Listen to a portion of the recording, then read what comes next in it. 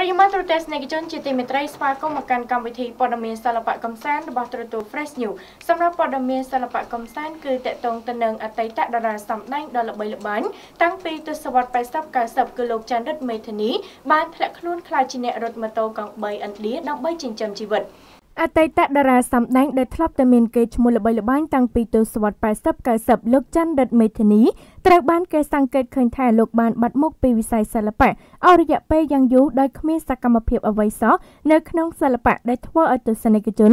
លោកឃ្លាតរស័ព្ទឆ្ងាយពីសិល្បៈប្រហែលជាលោកមានជីវិតសុខស្រួលហើយដែលឡែកស្រាប់តែពេលថ្មីថ្មីនេះត្រូវបានប្រភពព័ត៌មានទម្លាយឲ្យដឹងថាលោកបានធ្លាក់ខ្លួនខ្លាចជាអ្នករត់កង់3ឥណ្ឌាដើម្បីគ្រប់គ្រងជីវភាពគ្រួសារមិនតែប៉ុណ្ណោះលោកច័ន្ទរិទ្ធមេធានីថែមទាំងមានជំងឺប្រចាំកាយទៀតផង យោងទៅតាម Facebook Page របស់អ្នកស្រីសិនឧត្តមផល្លាជាម្ចាស់ Page ផ្ទាល់បានទម្លាយនៅខ្សែជីវិតពិតដ៏ជូរចត់ស្ទើរមិនគួរឲ្យជឿរបស់តារាសម្ដែងដ៏ល្បីឈ្មោះតាំងពីទសវត្សរ៍80 90គឺលោកច័ន្ទរិទ្ធមេធានីយ៉ាងដូចនេះថា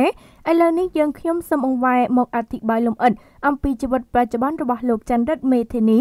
ដែលសប្តាហ៍ថ្ងៃនេះលោករស់នៅក្នុងភូមិព្រែកតាឡុង សង្កាត់ចាក់អង្រែក្រោមក្រុងភ្នំពេញជាមួយនឹងគ្រួសារខាងប្រពន្ធលោកច័ន្ទរិទ្ធមេធានីពិតជាមានមុខរបរជាអ្នករត់កង់3ឥណ្ឌាយ៉ាងពិតប្រាកដមែនចំណែកឯភរិយារបស់លោកមានមុខរបរជាអ្នកលក់ចាប់ហួយចំណែកឯជីវភាពគឺសំរុំអ្នកស្រីសិនឧត្តមផល្លាបានបន្តថាលោកច័ន្ទរិទ្ធមេធានីបានថ្លែងថាខាងក្រុមហ៊ុនផលិតកុនបានតាក់ទងមកលោកដើម្បីថតភាពយន្តប៉ុន្តែលោកមិនទាន់ចង់ចូលប្រឡូកវិញដោយសារតែលោកចង់រស់នៅ ក្នុងជីវិតមួយដែលសាមញ្ញលោកបានថ្លែងបន្តទៀតថាលោកពិតជាមានការនឹករលឹកទៅដល់មិត្តសិល្បករសិល្បករនីរួមចំនួន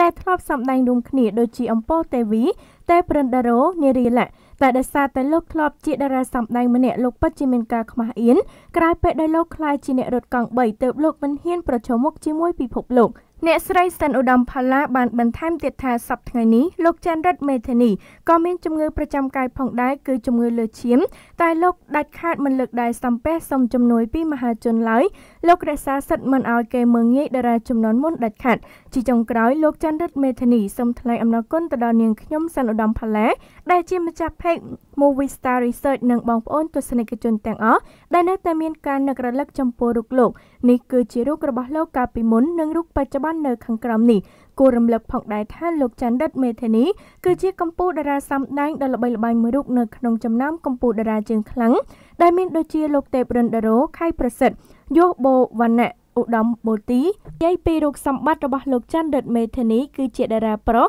ដែលមានរូបរាងសង្ហាត្រូវស្តង់ដារហើយរូបរាងដូចតារា Bollywood ឥណ្ឌា